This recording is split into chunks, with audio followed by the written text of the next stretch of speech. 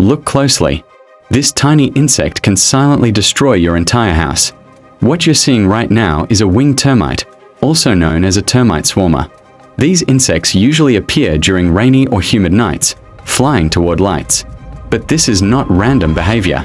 Their mission is to find a mate and start a new colony. Many people confuse termites with ants, but there are clear differences. Termites have straight antennae, equal length wings, and a thick body with no narrow waist. Once they land, they break off their wings and disappear into cracks, soil, or wood. This is when the real danger begins. Termites do not bite humans, but they are among the most destructive insects on Earth.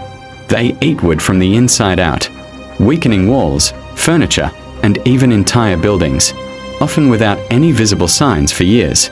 Every year, termites cause billions of dollars in property damage worldwide, making them more destructive than floods, fires, and storms combined.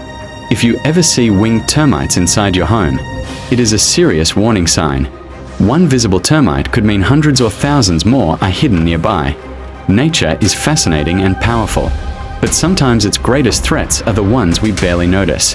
Follow Woworld Nature for more real stories about insects, animals, and the hidden world around us.